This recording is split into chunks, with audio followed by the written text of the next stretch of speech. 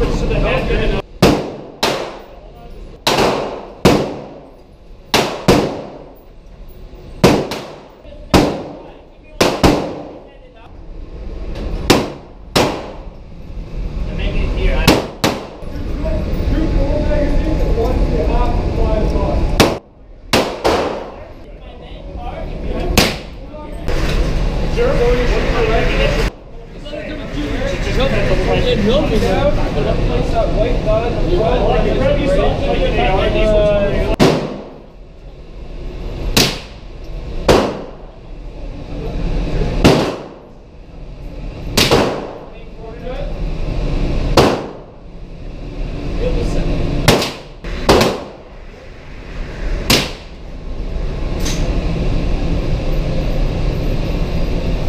Nobody was hurt in the making of this video.